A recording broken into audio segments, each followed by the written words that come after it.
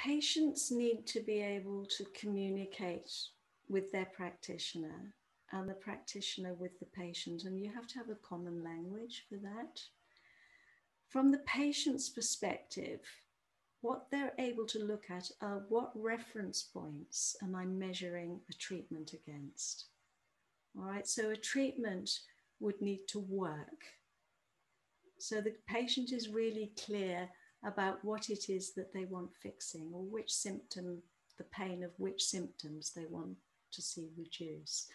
But they also have an idea of where they would like to end up in terms of treatment dependency. So, and this is a, a language that the medical practitioner speaks as well, because it's a risk mitigation language. So it's which risks do I need to mitigate?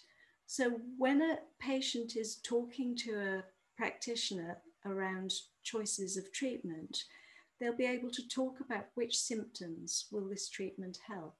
And will by going on this treatment where will i end up? Will i be able to come off it?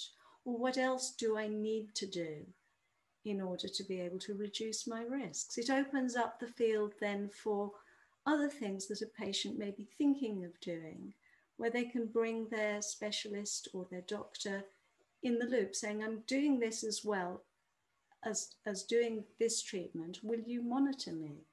And of course, the big thing is that if a patient has as one of their reference points where they don't want to end up, this fits so neatly with where the medical practitioner is focused because the reason we get medications or we're given drugs is to it is to stop us or to slow the progress or the process of ending up with an acute event, say a heart attack or, you know, in diabetes, limb amputation. So treatments are really done to, to, as a risk mitigation. So if a patient can also factor that in and, and let the um, specialist know that they're on the same page, then the specialist or the doctor will know that that patient isn't driving blind.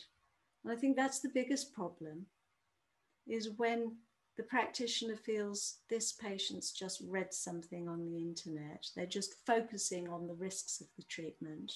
They're not looking at what it could do for them. And I don't want to work with this person.